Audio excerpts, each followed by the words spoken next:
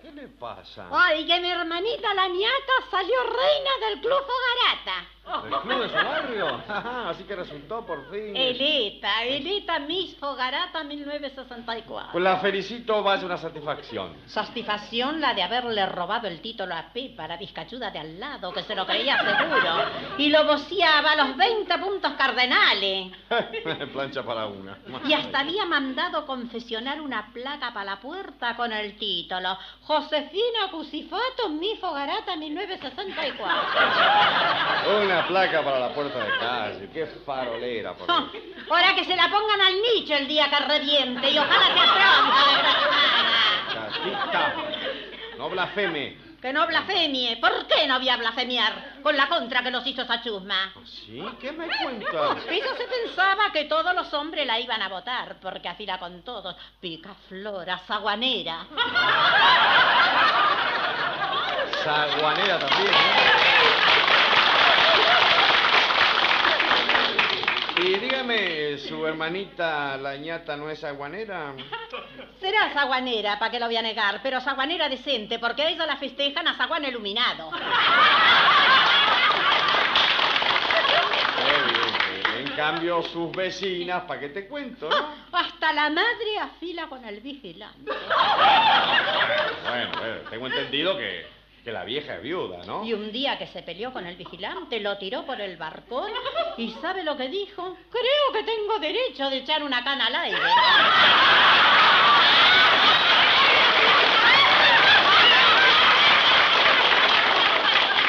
Y así fue, echó un cana, digo, un vigilante. Y la Pepa es una. ¿Dónde se va a comparar ese monstruo con la niata? La niata tiene dos ojos que no parecen de carne y hueso. Dos ojos que ni las vacas. Hermosa comparación, ¿eh? Una boquita que apenas le caben los dientes. Ay, unos dientes. Y eso que no se los lava, casi se los lava. Alto que diente de ajo, ¿no? En vez la Pepa tiene unos dientes que son el teclado de un piano, pero la parte de las teclas negras. Bueno, Catita, no sea mordaz, por favor. ¿Por qué? Que no sea mordaz. Yo no muerdo, yo le explico. La niata tiene una nariz con un agujerito que no hay dedo que le carce. No me diga. En cambio, la de al lado tiene unos ojeros que se le ven los sesos. Que se le ven los sesos. Mi hermanita tiene un cuti como si se lo esmartaría con pancaque, perdonando la palabra. La otra, en el cuti, tiene más ilusiones que un volcán. Encenado de granos, que a lo que es morocha parecen granos de café. Así que encima de fea es granuja. Y el pelo de la niata, un pelo rizado, que altro que la radio El Mundo, porque ella tiene onda larga, onda corta y onda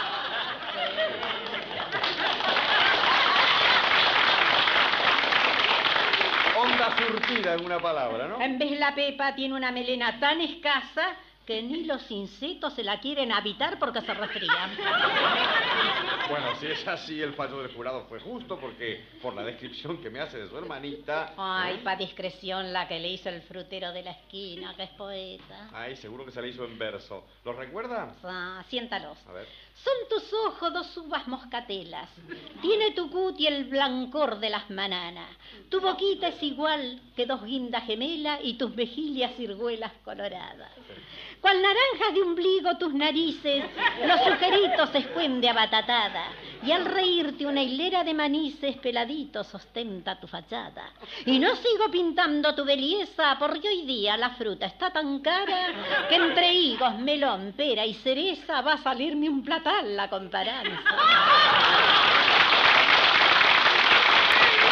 Muy bien, ese poeta progresará, mire, porque es un poeta frutífero. Pero cuénteme, ¿cómo se presentó la ñata en el certamen, Catita? Ay, cuando apareció en el escenario, parada arriba de una lata. De pedestal. No, de querosén. Ah. Con su corona de cartón, su manto de papel crepe y su palo de escoba de cetro, era Cleopatria, la reina de Europa. No, no, de, de Egipto, ¿eh? De Egipto. Bueno, eh, le habrá recibido una ovación estruendosa, ¿no? ¿Lo qué? No digo que la habrán aplaudido. A reventar. Claro. Salvo seis huevos que le largaron y, y cuatro tomates, que eran... Para hacer un revuelto, ¿no? que eran la venganza de la contra. Ah. Menos mal que un huevo le dio en un ojo. Y un tomate en la nariz, que si le caen más arriba le enchastran la corona. Y adiós, majestad.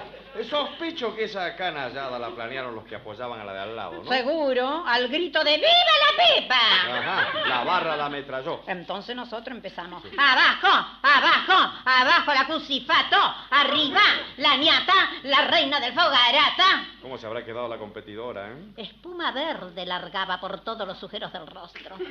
Venenosa. Usted sabe la campaña de inflamación que le hizo a mi hermano. De, de difamación, ¿no? Hizo correr rumores. Sa, cimentando que la ñata era toda artificial. ¿ah? Y ella que cuando se desnuda para dormir se queda en la mitad. Hay que ser charlatana, ¿eh? Lengua vespertina. Y a lo que las candidatas tenían que ser solteras y a la ñata la van a operar de una Úrsula, ¿sabe lo que anduvo diciendo? No. Que si era mujer la llamarían Úrsula, pero si era varón, Juancito.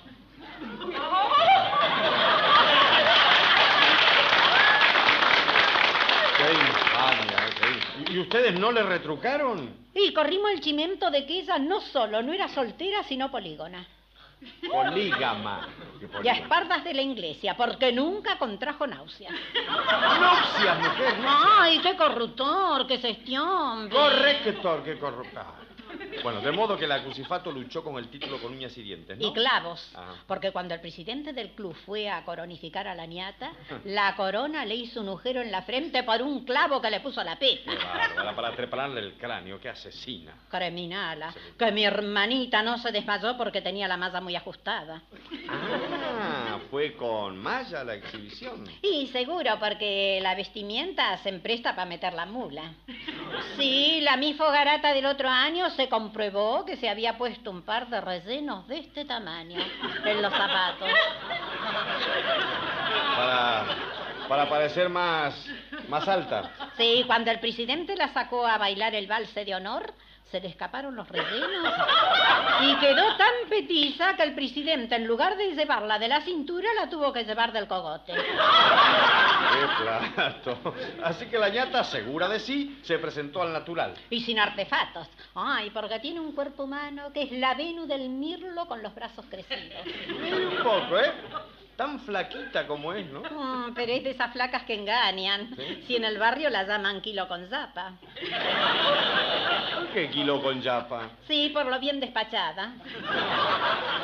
¿Quién diría, no? Porque yo, la verdad, vestida no lo parece, ¿no? Ah, usted la ve vestida y dice, es un bacalado. Sí. Pero la ve masa y dice, fa, un bacalado a la española, porque tiene de todo.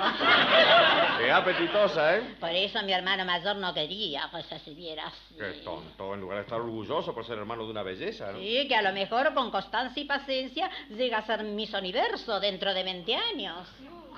Bueno, pero dentro de 20 años ya estará fuera de concurso, ¿no? Entonces pongámosle el doble. Quien dice 20 dice 40. Y mire qué satisfacción si llega a ser Miss Universo 2040 y pico. Sí, pero para ese entonces sería Miss Momia. De modo que su hermano no apoyó a su hermanita, ¿eh? ¿Qué va a empollar? Si te metes al concurso, te voy a dar un par de patadas, le decía. Y era capaz de hacerlo, ¿no? Mi hermano es tan caballero que cosa que promete, cosa que cumple. Así que le dio el par de patadas. No, le dio una pateadura completa. No. Pobre Miss Fogarata. Ah, pero se la dio después que obtuvo el título. Y una vez que es reina, ¿qué se le importa? Patada más o patada menos. Al fin del cabo, ¿a cuántas reinas las han sacado a patadas a la historia?